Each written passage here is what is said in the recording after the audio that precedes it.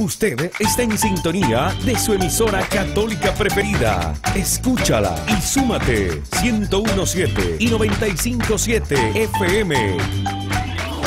Natividad.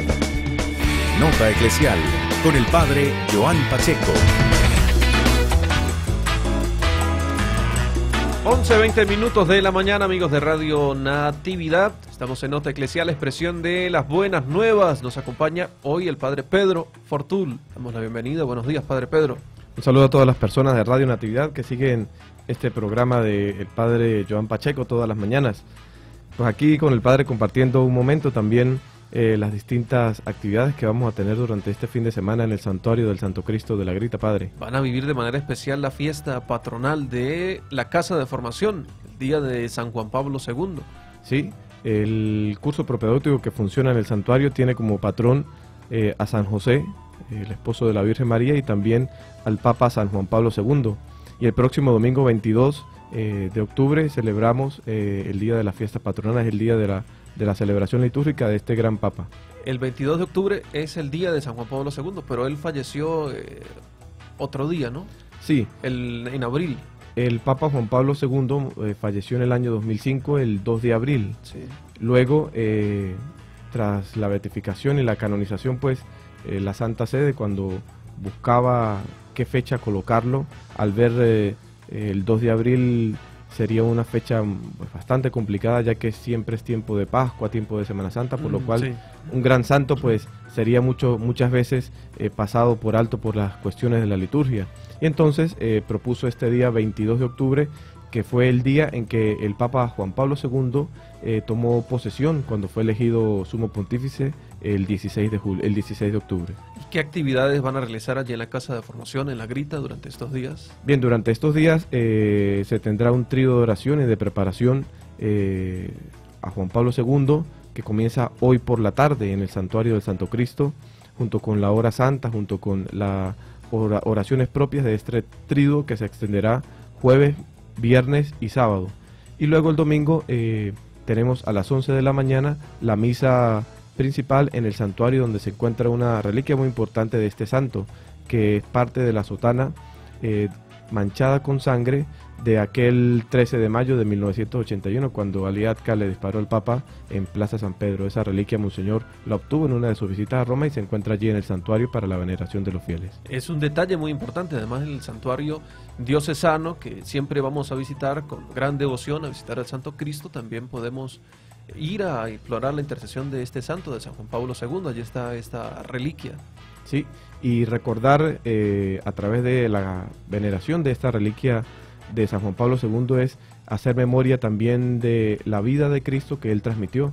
Pensar a San Juan Pablo II es pensar a la defensa de la vida, pensar a la defensa de la familia, pensar al anuncio del Evangelio, pensar a la promoción de los jóvenes, pensar a las jornadas mundial de la juventud, pensar a las vocaciones, pensar a la divina misericordia, pensar a la devoción de la Virgen de Fátima, ¿no? Y en el caso particular de la formación sacerdotal, ¿qué aspectos eh, tienen presentes para la formación de quienes inician ya la etapa de formación allí eh, en la grita? Bueno, ya el mismo ejemplo de la vida de Juan Pablo II, un, hombre de Dios que luego discernió la llamada y se hizo sacerdote y luego la iglesia lo llamó al ministerio del obispado y luego al, a la sede de, San Pedro. Es, un ejemplo ya de modelo de santidad sacerdotal y modelo de santidad cristiana para los muchachos que allí se están formando. Y luego este, San Juan Pablo II pues también se preocupó muchísimo por la promoción de las vocaciones sacerdotales, ¿no? dejando eh, muchos escritos, entre ellos la, eh, el famoso escrito de la Pastores Dado Bovis, eh, que es Les daré pastores según el corazón de Dios, en el cual se recoge un poco los lineamientos que han de seguir los seminarios y los seminaristas junto con los formadores y el obispo para ayudar a los jóvenes candidatos a configurarse a la vida de sacerdotal. Recientemente han comenzado el año académico. ¿Cuántos muchachos este año en la Casa de Formación Juan Pablo II en La Grita? Este año eh, se dio apertura el día 2 de octubre, el lunes 2 de octubre, cuando recibimos un grupo de 15 muchachos que han iniciado ya las actividades formativas en las distintas áreas, el área humana, el área espiritual, el área intelectual y también el área pastoral.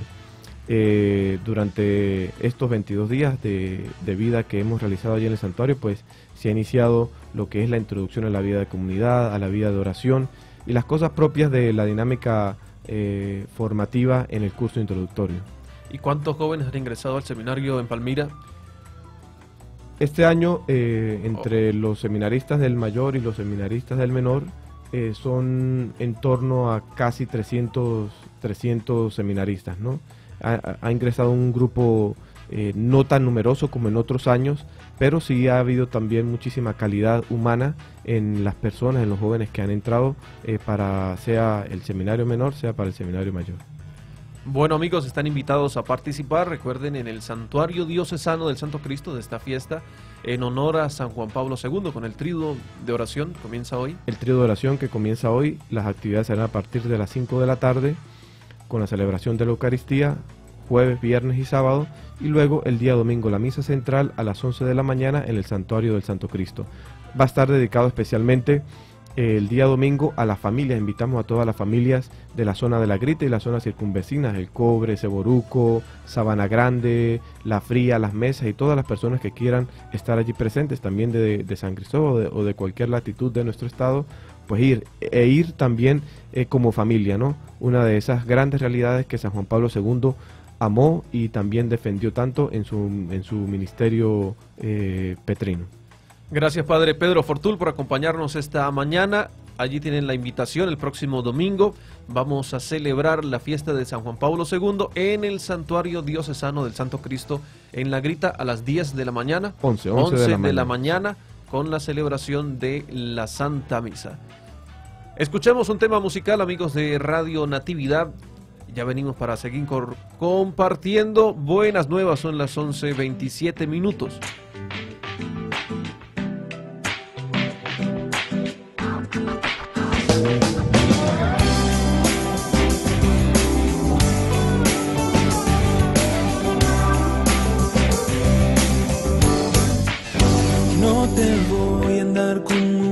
Muchas vueltas. Vos sabes de qué te quiero hablar. Si una vida golpea tu puerta, tan solo vos podés dejarla entrar. Sé bien que yo no soy quien para hablarte.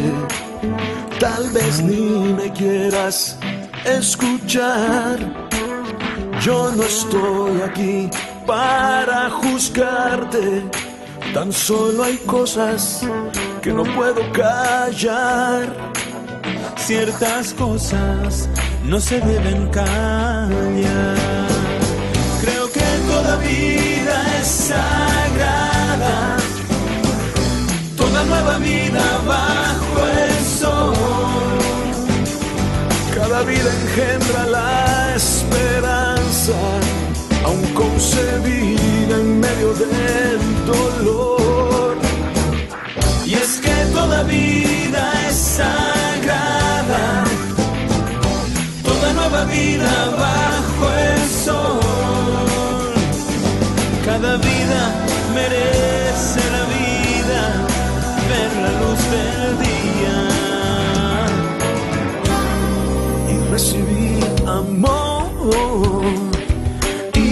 recibir amor.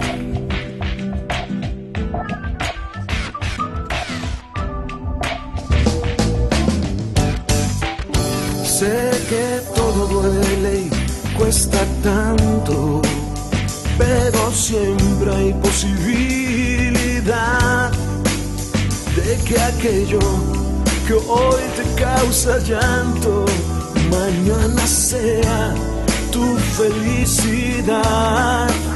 Sé que yo no estoy en tus zapatos y que es muy fácil para mí opinar. Te respeto y quiero serte franco. Creo que la vida siempre vida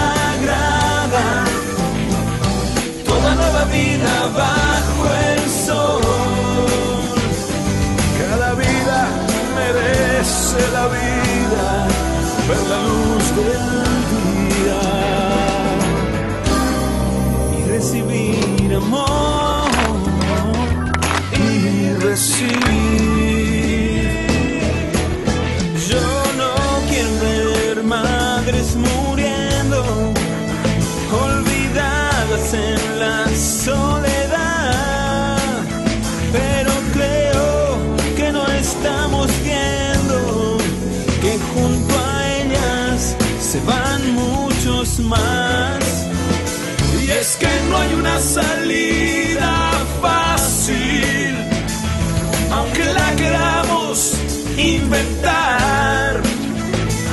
Y aunque nuestras leyes ahora cambien, lo verdadero permanecerá.